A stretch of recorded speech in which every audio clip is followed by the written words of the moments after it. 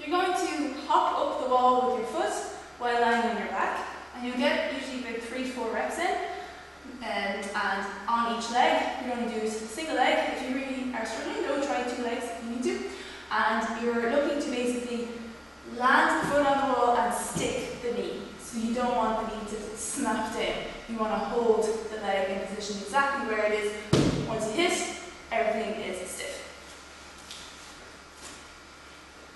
Start low, uh, the knee will be quite bent at the start, so start close enough as well.